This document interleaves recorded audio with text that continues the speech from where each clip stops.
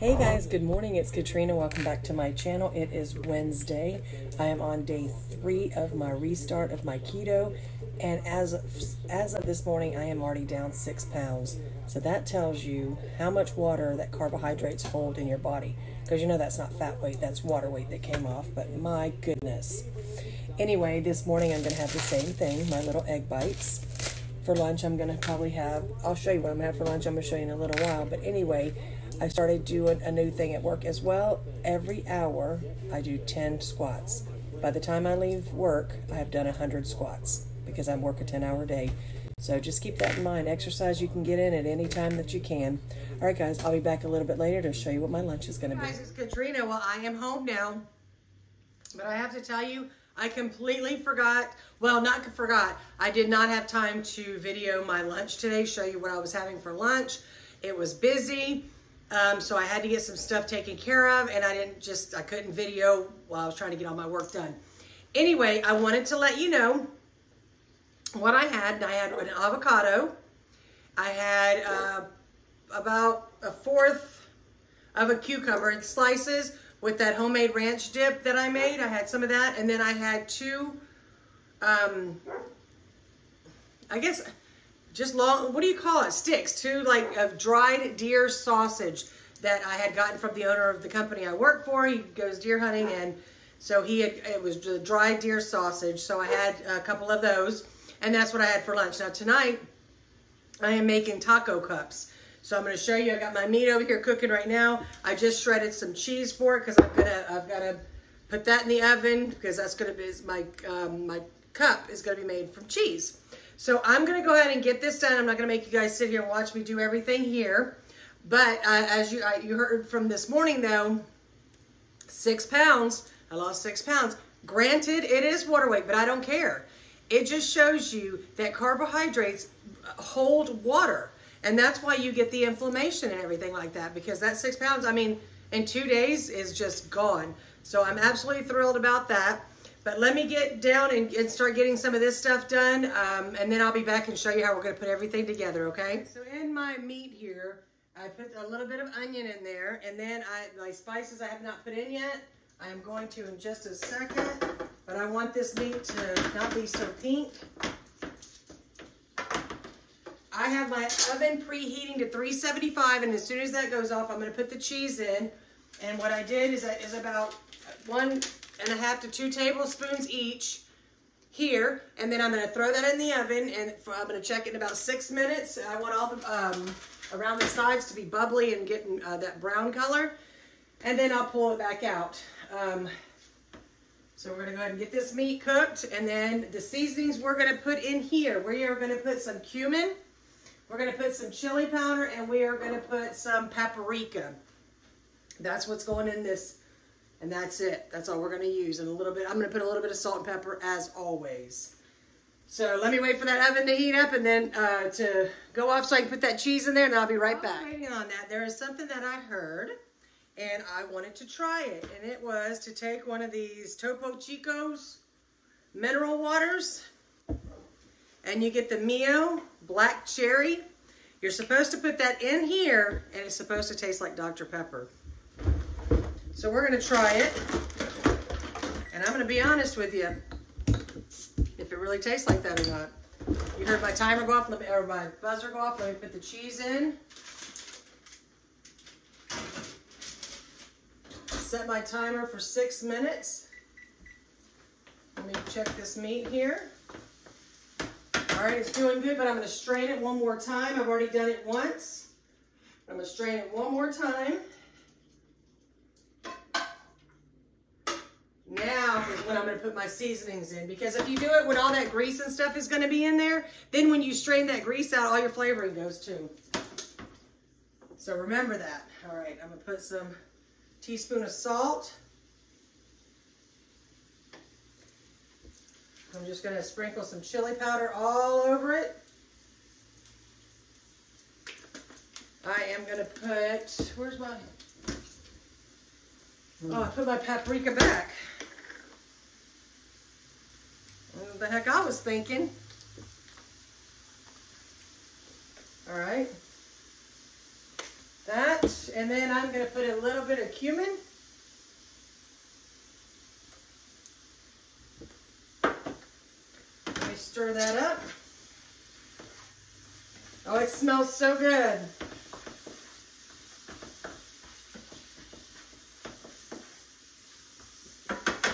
Y'all, I'm excited. I don't know what it is this time, but my head really feels like it's in it this time, and I just see my body just going. I really do. I, I just, I think I'm in it this time. All right, so let's try this. I got this. And then I've got the Mio.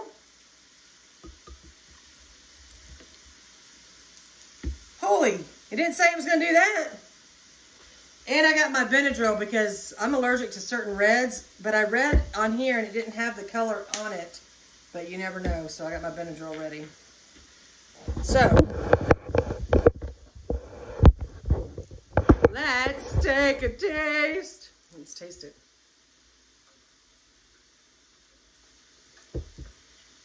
Oh my God, it does. That is so funny. It sure, I'm gonna add a little bit more. Yep. I mean, it's not going to be like the Dr. Pepper you're going to go get out of the can. Of course not. You can tell there's a difference to it. But it is good.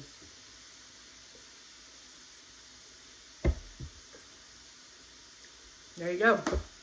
Low carb Dr. Pepper.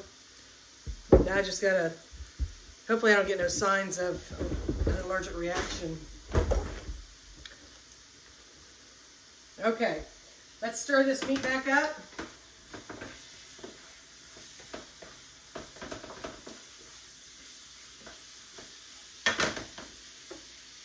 All right, I'm going to turn that off, but I'm going to leave it on the stove there. I'm waiting for the cheese, and then once that um, once that my kitchen timer goes off, I'll bring you guys back and we'll get it what together. What I did now, it came out. I, I put it on about two more minutes, so mine did a total of eight minutes at 375, and they came out perfect. So now I have them on the back side of a muffin tin, and I kind of just laid them over like this and now I'm going to let those cool so they kind of harden that way, okay? Guys, well, I took them off the tin, so I have little bitty bowls here, just like this. And now we're to fill them. We're to fill them.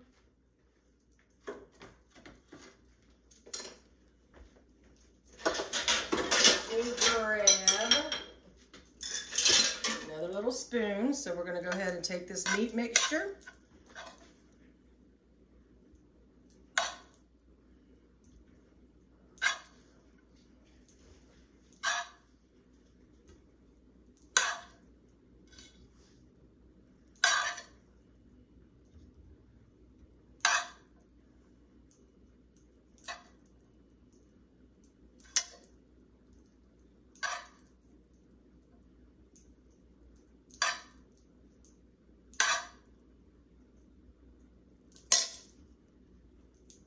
Okay.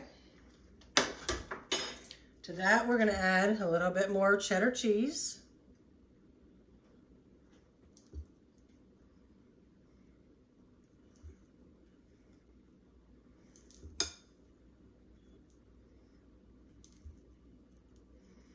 Okay, to that, we're going to add a little bit of, I cut up some little grape tomatoes.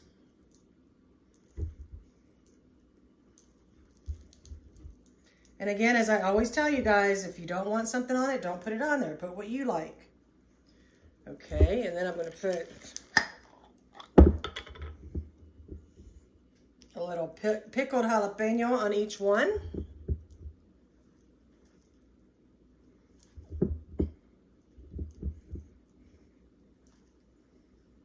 Okay, and then we're going to put a little bit, a dollop of sour cream on each one.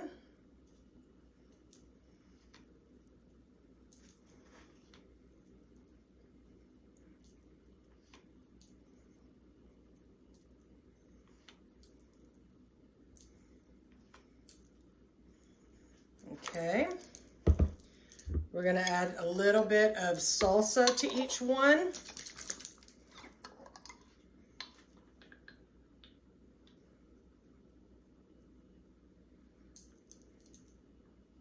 Whatever salsa you like, red, green, whatever.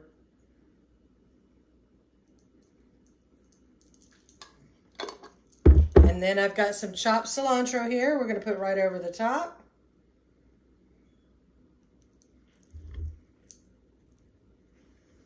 And there you have it. Look at this. Now I'm probably going to have three of these for dinner and then I'm probably going to take the other three for lunch tomorrow. I always make where I can have dinner and then the next day I can have it for lunch or something. It just makes things a lot easier. So there you have it, my nice little taco bowls. These are going to be so delicious. Very simple to make, you know. It's, I mean, it's very simple. This up a little bit. But we're going to go ahead and take a bite and see. Mmm. That is so good. That is so good.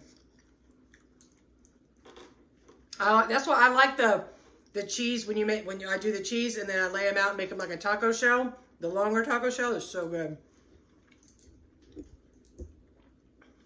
And my low carb Dr. Pepper. Dr. Pepper is a big drink in Texas, just in case you didn't know. But anyway, I hope you guys try these here. It's so simple. You know what? And the taco meat, if you don't want the seasonings I do, you just do whatever, however you season your meat for tacos. Just season it that way. Or buy the taco mix in the, in the little thing and you just use like half the packet of it. And make it, then top it with whatever you want. But definitely make these little bowls. And do it on the outside and if you want to, I have also done it on the inside.